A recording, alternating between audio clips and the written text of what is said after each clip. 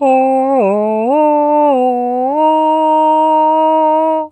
it's the coveted limited run package. It's time to open up and see what we got, folks. I really don't check my emails. I know people are like, how do you not know what you got in your mail? They email you the game. I, I like to just make it like Christmas. Like it's a a Christmas morning. I don't know what I'm getting when Limited Run sends them directly to me. So exciting. You guys have seemed to have been liking the content when I get a limited run game. So let's see what we got. It says thank you for choosing limited run games. If you need help, contact support. I see a PS5 game. I did not know I got this game. What the hell? I did not know I got this. Infliction extended cut? Did I buy this? I guess I did. It's number 9 for the PS5. I don't remember getting it. Look at that cover. you know, these things take so long. I, don't even remember ordering it or, or hearing about it. But this says it's a interactive nightmare set within the confines of a once happy household. Piece together the mystery behind a harrowing series of events while struggling to survive encounters with an entity that relentlessly stands in the way of finding absolution. So I guess it's like a, a scary horror game with like I don't know, like you know how all those other games are where you're like in a house and some kind of family tragedy and stuff like that. So if I'm not mistaken, the Switch games for a limited run have the number right here on the side.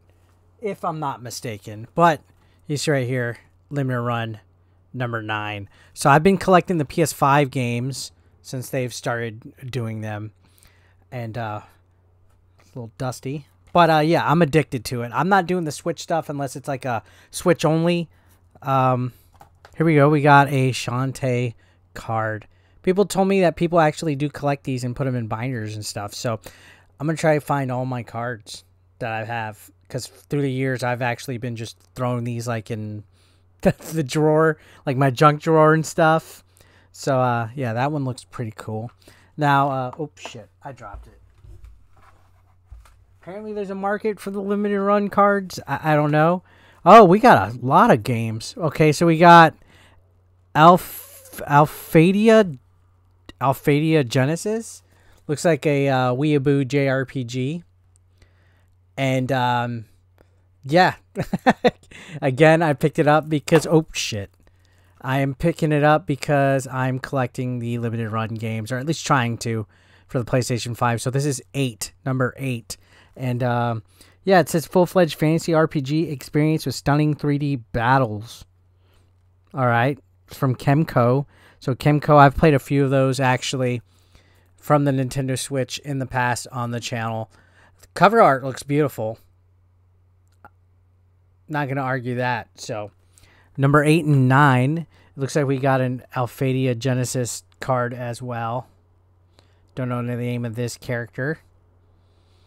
I don't watch much anime or Japanese JRPG stuff, so I usually get a little turn around. Oh, look underneath we have our third card for the first game. It was kind of out of, you know, I don't like that they just kind of throw the uh, the cards loose in the box. They should sleeve them at the very least. You know, they're making a lot of fucking money. Just a suggestion, limited run. Just a suggestion. Now, if I'm not mistaken, whenever I see the invoice, it always says there's a newsletter for limited run games that they're supposed to send with you, but I never get them right? When you order, it says like LRG newsletter.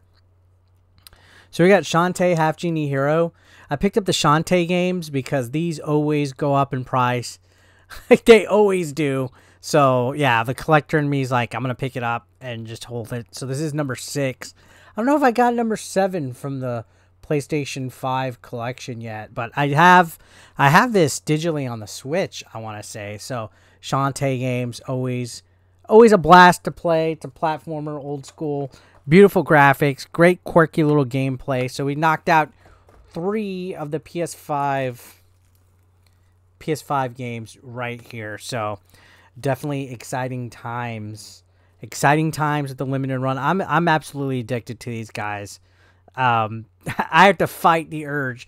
Like, there's the other websites like PlayAsia and Special Reserve and Strictly Limited and you know stuff like that. And I've gotten stuff from them in the past, um, but more more often than not, I usually stick to like one or two of them. Um, definitely limited run games. Especially they got some cool stuff. They just announced like Bill and Ted Retro Collection not too long ago. You know, they had the AVGN uh, game. They're doing a special edition of Shredder's Revenge for the Turtles. Like they have like a huge limited edition with a lot of stuff. I don't know if I'm gonna throw the money over for that one, but they they for the most part have really cool stuff and they just made like a whole bunch of announcements the other day. I think they like announced like 20 different things if I'm not mistaken. So, it's been a, a couple weeks since I went to their website and saw what was able for pre-order or distribution. Um, I have to behave a lot of times. Sometimes what I do is I won't get the games when they're pre-orders. I'll just wait until I go to like a convention that limited run games has a table or a booth at and I'll just buy everything that I don't have on it. Like I remember couple times at PAX South and at Game On Expo they had a booth and I spent like 200 bucks on a whole bunch of Switch run games I didn't have. I, I only have like a handful of the PS4 games. I think I have like Night Trap, um, and uh, a couple here or there. I can't even think like River City. Uh, wasn't there like a River City Ransom or River City something that came out on PS4? Uh, I got that. River City Underground. Yeah, I think that's what it was, or I don't even know. It's over there somewhere, but um, definitely got a huge chunk of like the first year limited run Switch games, and then I kind of fell off with that because man, they've they've made so many.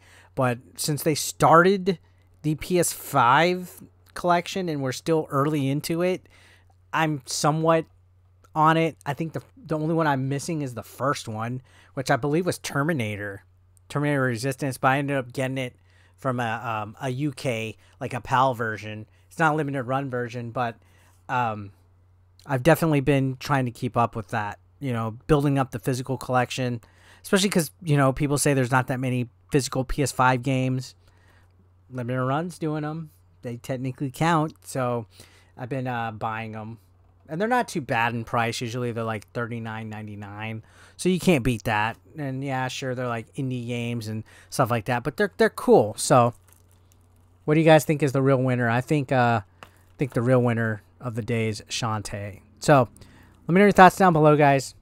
Thank you so much for watching. I'll see you on the next one.